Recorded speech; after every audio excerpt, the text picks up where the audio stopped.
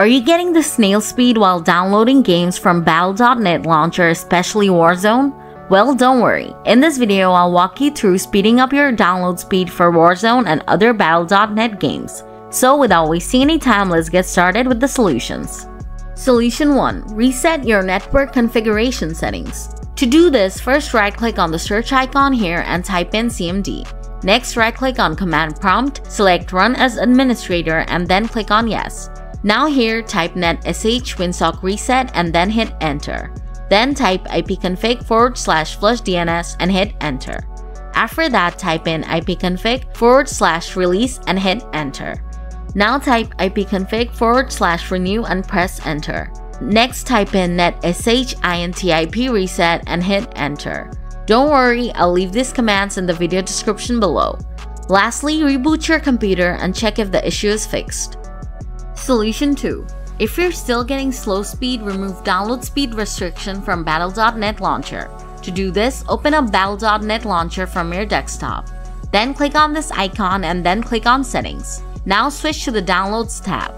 Next, scroll down and find the Download Limits section. From here, untick all these boxes and then click on Done. Now check the download speed. Solution 3. If that doesn't boost your download speed, use an optimized DNS server.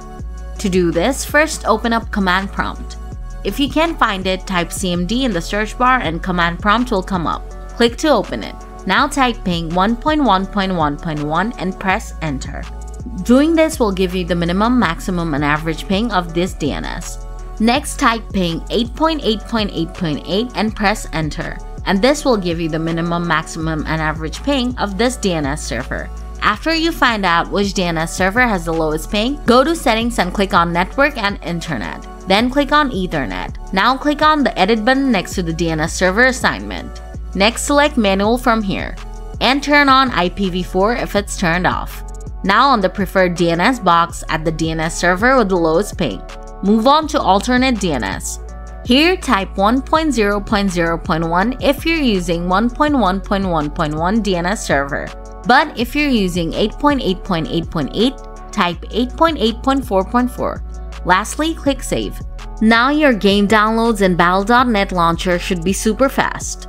So that's how you troubleshoot slow download speed for Call of Duty Warzone or any other games from Battle.net. If the video helped you out, please hit the like button. And if you want more Warzone tips and tricks, subscribe to the channel.